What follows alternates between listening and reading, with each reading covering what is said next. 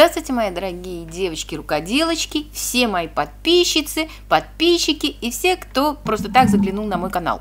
Если у вас завалялись какие-то отрезки и вы не знаете, куда их применить, то давайте делайте вместе со мной, так же, как и я. Я нашла у себя три отрезка, которые ни то, ни сё, ни туда, ни сюда, как говорится, и я решила из них сделать накидку на диван. Так как у меня диван угловой, то совершенно неудобно какую-то какие-то накидки. Я каждый раз покупала два пледа, которые все равно мне не удавалось нормально положить, разложить, и я решила в результате применить свой пэтчворк вот на такие накидки отдельные. Разложила я все на полу, разрезав предварительно на какие-то кусочки, квадратики, треугольнички, и стала создавать такие композиции вот примерно такого размера, как вы сейчас видите. То есть каждая моя накидка, она вот на одного человека рассчитана. Вот, таки, вот такого размера. И я стала скалывать эти вот все какими-то булавочками, создавать какие-то композиции, так или так, так или сяк. В общем, короче говоря, применять три отрезка, которые вы сейчас видите. Вот они у меня три отрезка. Здесь вот таким вот образом по-разному сочетаются и сложены. Потом я взяла и все это прострочила зигзагом, их пристрочила друг к другу. А окантовочки я сделала вот такими вот золотистыми, как бы с парчой, наверное, я даже не знаю, это очень плотная ткань. Э, одна из них типа бархата такая, но они, они или мебельные, или я даже не знаю какие. В общем, вот такие вот очень тяжелые, плотные ткани.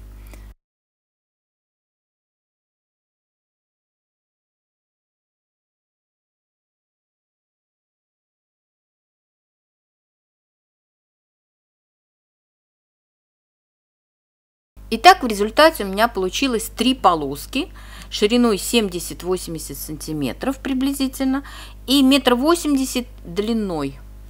Вот эти три полоски я могла на диване разложить как угодно. То есть чем удобны они? Тем, что можно их положить каждому сидящему под себя, а можно просто ну, застелить им вот этот вот неудобный угловой диван – потому что когда покупаешь целиковое покрывало, то получается не очень удобно. Я не знаю, может быть, какие-то специальные нужно шить, но мне не нравится. А в данном случае мне очень понравилось, что я могу застелить именно так, как мне хочется.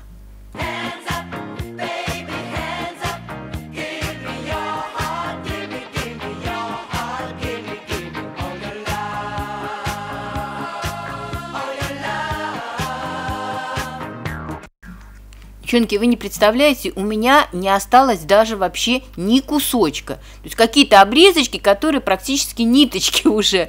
Ничего, у меня все пошло в дело. Все, все, все абсолютно. Я вам хочу сказать, у меня здесь ляпы есть. Конечно, сейчас мне начнут писать специалисты всякие. Я всегда говорю, что я не специалист. Я так, что вижу, тупою, ляпаю и ляпаю. А ле, как сказала героиня в Москве слезам не верить, а ты ляпай уверенно. Вот я ляпаю уверенно, понимаете? Поэтому я хочу сказать, что не судите меня строго. Вот вы увидите у меня, что у меня там разными нитками все прострочено. Объясню почему. Начала строчить все белыми нитками, почему-то, не знаю даже почему. В результате эти нитки оказались очень какими-то нехорошими. Они у меня, ну, постоянно, через каждые две минуты мне приходилось заново их заправлять машинка там рвалось постоянно. И я решила, что это у меня руки-крюки, что я просто не умею шить нормально, и дело все не в нитках. В результате я доделала одну полоску именно белыми нитками. И потом следующую полоску я решила просто попробовать другой расцветкой ниток. И в результате все, о чудо, все замечательно, все пошло. Оказалось, все дело в нитках. Нитки были куплены, видно, ну, по дешевке, я не знаю, в этом магазине я больше не буду покупать. Вот, и они оказались некачественными. После этого я просто стала строчить другими нитками, поэтому вы все видите разными нитками. Я, когда это все делала, я думала, что давай-ка я после этого еще прострочу сверху красными, но потом почему-то мне стало лениво.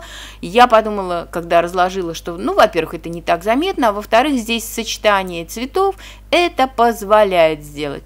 Поэтому то, что вы увидите, мои ляпы там или что, если вы будете в лупу рассматривать, то не пишите мне, меня все устраивает.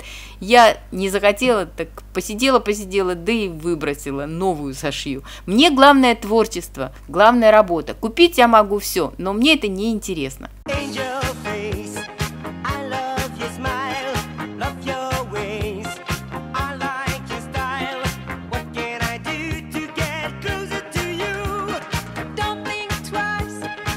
Оставила я два масеньких кусочка золотисто вот этого бордового цвета на подушечке. И их я еще не пристрочила, вы их видите вот так вот с одной стороны и с другой стороны. Это вот у меня будут подушечки, я потом пристрочу все к наволочкам и будут вот такие вот подушечки. Это все, что у меня осталось. Больше у меня ничегошеньки не осталось. Чем все это мне нравится, это тем, что я могу так положить, сяк положить, как мне больше захочется. Пишите свои отзывы, понравилось, не понравилось. А еще я вам хочу открыть тайну, что это мне обошлось, ну, примерно в 1-2 евро вот эти отрезки. Поэтому это мне греет душу, это у меня в крови сидит экономия, и мне это очень-очень нравится. Ну, а раз речь зашла об экономии, я вам обещала сделать видео про то, как самый-самый-самый дешевый обед в Германии сделать и на чем сэкономить.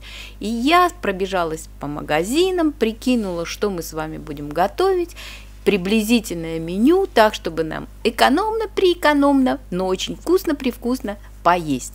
Поэтому ближайшее видео будет посвящено этому. Не пропустите, кто не подписан, подписывайтесь, кто хочет получать уведомления, нажимайте на звоночек и будете получать уведомления.